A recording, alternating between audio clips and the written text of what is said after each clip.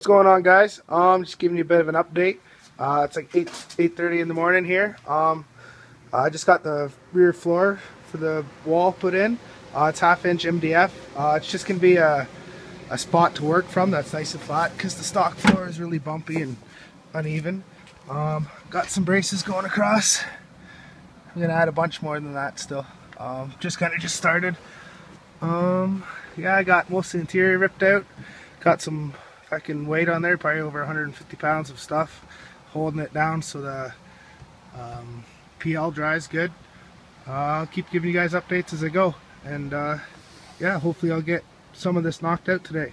Alright guys, see you in a bit.